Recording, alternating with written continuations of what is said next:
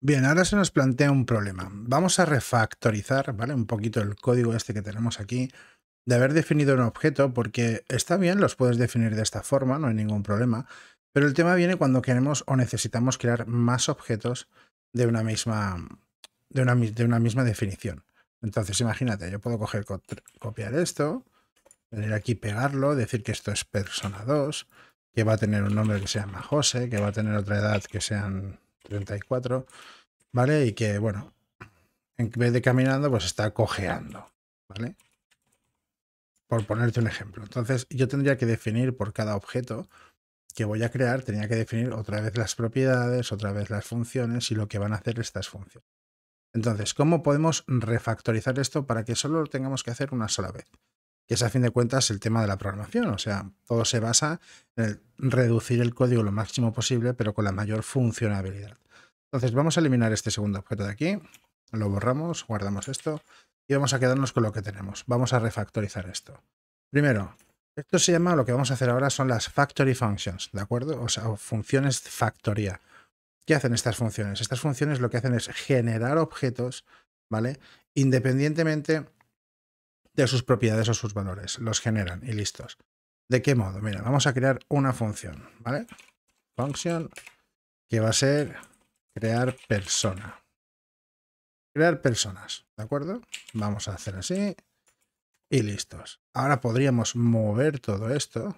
Control C, venirnos aquí y hacer Control V y tenemos exactamente lo mismo. Tenemos una persona. Para devolver, o sea, para que esta función funcionase, nos tendría que hacer un return, ¿vale? De la variable persona que nosotros hemos creado. Y entonces esto funcionaría perfecto. Tenemos una función que crea personas, que lo que hace es generar una nueva persona con estas propiedades, con estas funciones y nos la devuelve. Entonces yo podría hacer, por ejemplo, let eh, Manuel es igual a crear persona y entonces aquí lo tendría. Si yo hago imprimo lo que es este Manuel y lo guardo, pues fíjate, tengo aquí un objeto con funciones como nombre, edad y tiene, y tiene luego la funcionalidad de caminar y saltar, ¿ok? Sus propiedades y sus funciones. Súper. Pero todavía lo podemos refactorizar un poquito más, de hecho bastante más. Vamos a ver cómo, ¿vale? Para empezar, no necesitamos definir la persona, ¿vale? O la variable persona y hacer un igual a un objeto y ni luego devolverla. Esto no es necesario.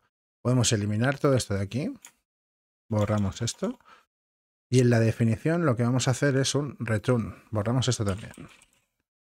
Return. ¿Ok? Guardamos y esto es exactamente el mismo resultado que lo que habíamos hecho antes de definir la variable y devolverla. Súper. ¿Qué más podemos hacer? Podemos eliminar estos clave valor. ¿Vale? ¿De qué manera? Tenemos una propiedad nombre y tenemos una propiedad edad, ¿no? Entonces vamos a pasar aquí nombre y edad. Vamos a pasar dos propiedades a esta función. Y vamos a eliminar los valores. Desde ECMAScript 6, si el valor y la propiedad tienen el mismo nombre, puedes dejarlo así tal cual.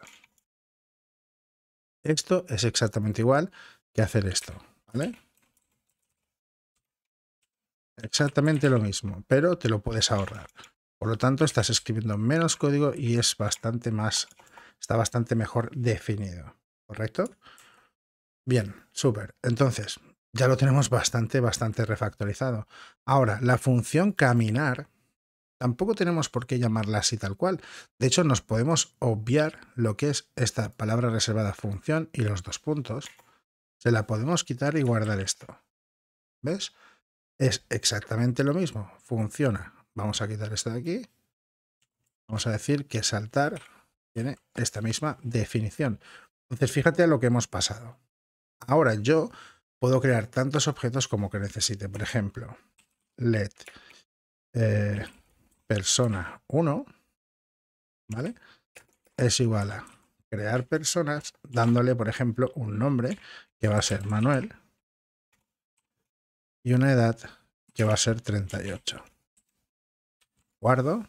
Lo que voy a hacer es imprimir esta persona 1. Guardo y vamos a ver qué tenemos. Fíjate, lo mismo.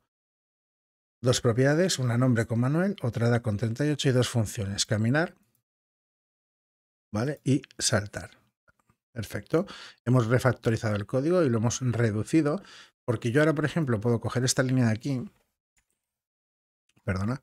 La puedo, eh, la puedo pegar. Podemos copiar esto, control C, pegarlo aquí abajo y persona, llamar a esto persona 2 y aquí se va a llamar José y va a tener 34.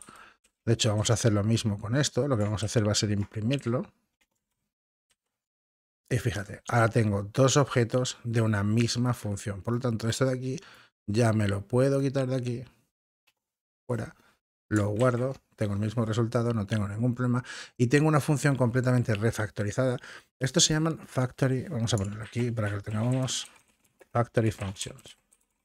¿De acuerdo? Luego veremos los constructores en la siguiente lección pero de momento que ya tengo este concepto. Entonces se llaman factory functions, son funciones que generan o devuelven objetos personalizados, tal como nosotros queramos, y de una manera un poco más simplificada para hacernos el trabajo más fácil, que es a fin de cuentas lo que estamos haciendo aquí.